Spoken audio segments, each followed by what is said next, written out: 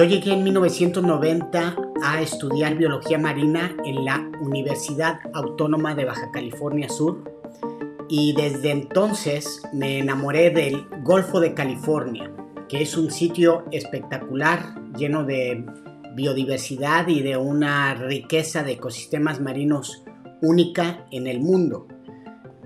Hace poco cumplimos 20 años monitoreando esa isla y ha habido muchos cambios importantes desde entonces. Yo recuerdo que eh, hace 20 años los peces perico podían llegar a medir eh, casi un metro, las cabrillas que son depredadoras, los, eh, los pargos, incluso los jureles, podíamos ver animales casi de, de dos metros. Todo eh, era, tenía mucho mayor abundancia y era de mayor tamaño. Ahora lo que se ve más son especies coloridas sí, pero de tamaños más pequeños. Entonces toda esa gran diversidad poco a poco ha ido em, disminuyendo y el tamaño también de estas especies es muy distinto.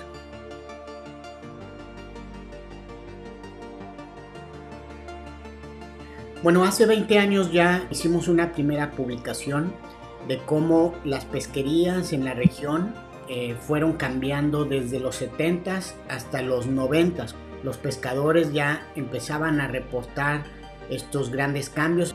Cuando yo empecé a bucear, lo que dominaban eh, las pesquerías ya eran las cabrillas, pargos, animales de mediano tamaño, pero no tan grandes como en los 70s.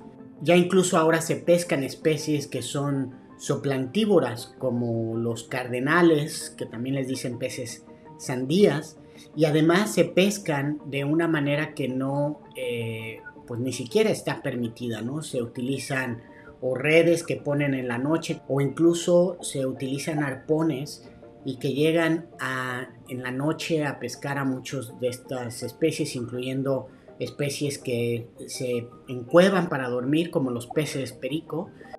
Las trampas son un nivel de uso intensivo, un nuevo arte de pesca que como utiliza una carnada viva, pues puede atraer a muchísimos animales, incluso si se llega a meter algún animal que después otro se lo quiera comer a ese animal, pues también eh, surte ese efecto de atracción los modelos pesqueros nunca van a poder predecir cuándo se va a colapsar, porque todo se está trayendo y en el momento en que ya no haya, se dará el colapso. Ese tipo de arte de pesca no puede ser evaluado con los métodos convencionales de evaluación pesquera. Y ya más en los últimos años, esta sobrepesca también se ha mezclado con cambios muy importantes en las condiciones del mar. Estos cambios están ya vinculados a lo que se llama el cambio climático. Eh, los océanos, el mar se está calentando mucho más, la productividad de los océanos se está reduciendo drásticamente, entonces no ha habido una capacidad de las autoridades ni de las cooperativas pesqueras para entender que eh, la sobreexplotación puede ocurrir muy fácilmente en estas pesquerías. Entonces si sumamos la sobrepesca y estos cambios que ya vemos cada año y con mayor intensidad, eso está impactando directamente a los arrecifes. Hay muchas cosas que podemos hacer en lo individual y en lo colectivo. En lo individual, pues hay que informarse más, hay que comer mejor, hay que respetar todas las reglas, hay que pues ser más educado ambientalmente hablando.